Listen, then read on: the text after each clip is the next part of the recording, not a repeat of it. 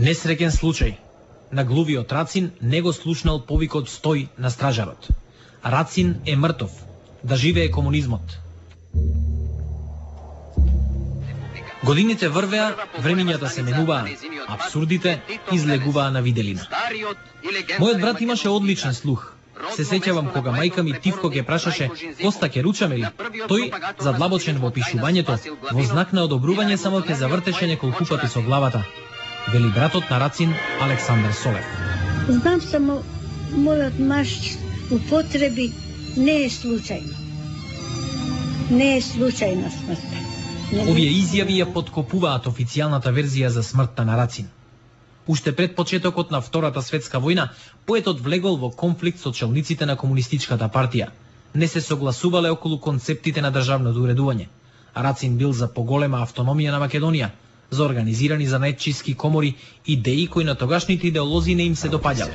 Секој негов чекор бил следен во петици. Од мајка ми слуша, Кошо дошол од Чаршија, влегол од врата.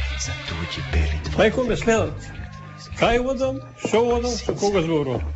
Еве ги, до врата дојда. Другар на Кошо, ја сретнал. Марио, Стори му Амар на синти да не иду велес. Него го следат.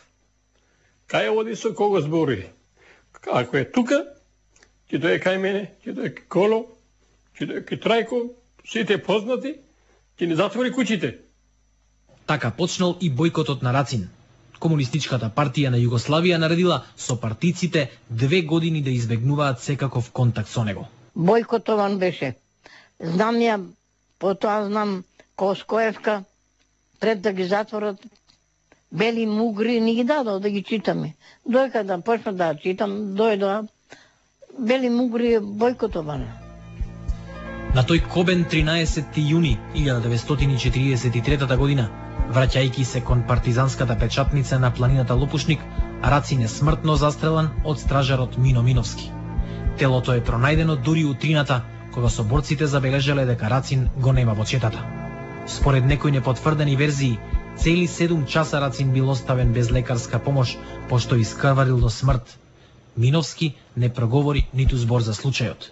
Неофицијално, пред да умре тој напишал писмо во кое ја објавил вистината.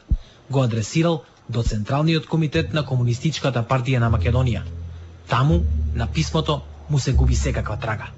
Вистината за Рацин остана закопана на лопушник.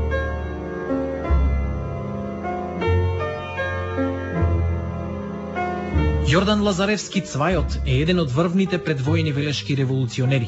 Неговите другари му го дале прекарот Цвај, од испоред нив вредел за двајца. Од 1935 година е член на комунистичкото движење, а со почетокот на војната станал борец во одредот Димитар Влахов. Од бугарите осудуван на смрт, од србите затворен и тепан, од грците малтретиран, но најголемата голгота ја доживува од своите другари, соборци, браќа по идеал. Наместо да и се радува на слободата, Цвајот завршува на голиоток. Цвајот беше непријател на народот. Така го прогласија. Непријател на државата. Човек кој се бори за доброто на народот не може да е против народот. Човек кој се жртвува да формира држава во која што народот ќе му живе у благодет, не е против државата. Ја се сеќавам како дете знаеше да каже, па не се договоривме да градиме вили уотешео, него пат на Богомојава да ја направиме. Потоа, тие негови другари го шпионирале речиси цел живот. Неговото досие на 500 страници навлегува во наинтимните делови од секојдневието. Него оставале дури ни во Шпанија, кога со сопругата бил на одмор. Го шпионирале и таму. Осумте инфобировски години и долгогодишното следење на Цвајот му го уништиле животот. Никого не ќе се вика знамо ти сите ме шпионираат. Многу, многу човеков изгуби поверење. Никого не ќеше. Ние современиците и учесниците во револуцијата и покрај со одветните заложувања да бидеме што пообјективни, веројатно не е можно да бидеме секогаш единствени во кажувањата, бидејќи секој од нас на настаните има свој погледи и импресии, зависно од тоа какви задачи извршувавме и на какви позиции се наоѓавме. Керече во својата книга Сеќавања велешанецот со висока функција во Комунистичката партија на Македонија, Страхил Гигов. Рацин и Цвајот се едни од многуте велешки дејци, жртви на различните погледи и импресии. Иако во досијата кои со закон беа отворени во 2000 година имињата на нарачетелите се прецртани, репресираните и нивните семејства нив ги препознаваат. Сето тоа масло е од Страјот Дигов. Само Страјот Дигов бил он, бил борец, Белето.